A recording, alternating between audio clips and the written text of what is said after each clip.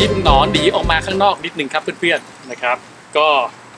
ไอ้เจ้า DF นี่ลุงบอกเลยว่า อยากจะแนะนำคือจริงสินค้าพวกนี้เขาเรียกพีคดีไซน์นี่คือไซส์ใหญ่สุดนะครับ เป็นที่เพื่อนๆรู้จักก็คือ รุ่นสไลด์ในมือลุงหนอนี่ วันนี้เสียบกับกล้องมา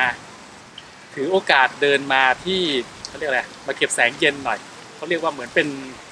ปอดแห่งปอดที่หนึ่งของคนกรุงเทพ ก็คือสวนเบญจกิตินะครับตรงนี้ลุงบอกเลยเข้ามามีเพื่อนๆพี่ๆเขาออกกำลังกันเพียบเลย มีทั้งเดินวิ่งจักรยานมีครบเลยนะครับ อย่าลืมออกกำลังกายกันนะ สุขภาพสำคัญนะอ้าวเข้าเรื่อง เห็นไหม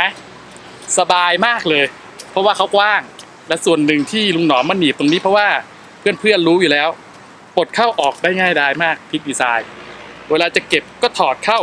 แยกไปก่อน นะครับ แล้วก็ไอตัวสไลด์ของ Peak เนี่ยนี่นะลุงมาลองเล่นวันนี้ลุงชอบใจมาก เพราะว่าเขาสะดวกเขาง่ายดีอ่าเวอร์ชัน2 นะ เวอร์ชัน2 นี่เขาจะพัฒนาไปพอสมควรและสิ่งหนึ่งที่เปลี่ยนแปลงไปก็คือรูปแบบของข้อต่อ แล้วก็ไอตัวตรงนี้เขาบอกว่าแข็งแรงกว่าเดิม รับน้ำหนักได้ถึง 90 กิโลเลยทีเดียวนะฮะตรงนี้ที่เคยเกิดปัญหากับพิกดีไซน์ เขาเรียกว่าตัวกันตกกันลื่น ตอนนี้ V2 เขากลายเป็นซิลิโคนและค่อนข้างจะ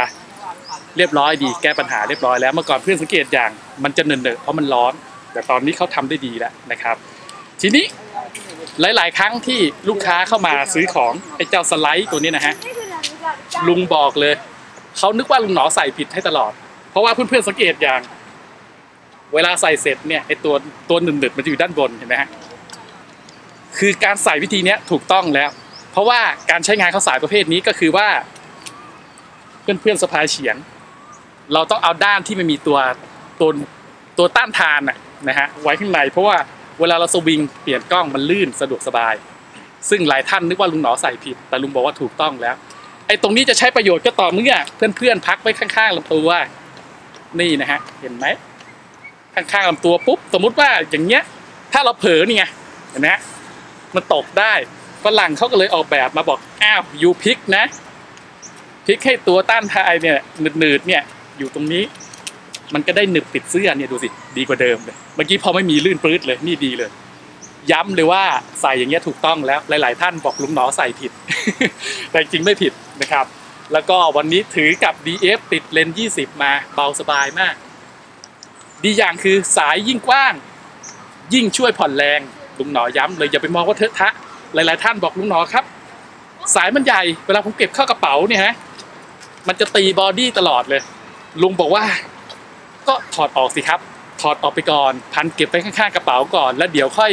ค่อยมาประกอบมันไม่ได้เสียเวลาเยอะนะครับ ถ้ากลัวตรงนั้นนะแต่รูปแบบฝรั่งเขาเขาต้องการให้แยกไว้ก่อนอยู่แล้วแต่ถึงเวลาเราค่อยมาเสียบใส่ต่อได้นะจุดนี้ลุงใส่ได้ถึง 3 จุด นี่หูสองข้าง หรือ เอาเท่ๆหน่อยปลดออกมา เพราะนี้รุ่นนี้เขาจะมีเพจยึดตูดด้วย เพื่อนๆสามารถมายึดนี้ได้อะนี่ครับสะพายเท่ๆแนวข้างนี้ก็ได้นะครับ ความแข็งแรงรับประกันครับ ไม่ต้องกลัวขาดเห็นเขาเคมไว้ตั้ง 90กิโลเลยนะใช้แปลยาวนะครับ สีเขาทำสองสีนะ สีดำอีกสีคือสีเทาที่เพื่อนเรียกว่าสีแอดนั่นแหละครับนะครับงานดีงานดีวันนี้ลุงหนอมาใช้ออกทริปนี่ ฮปปี้เลยนะครับเท่ๆสบายๆดูเทอะๆหน่อย แต่มีประโยชน์อย่างมากนะครับ เอาละแวะมาลองร้านลุงหนอได้เลยนะครับ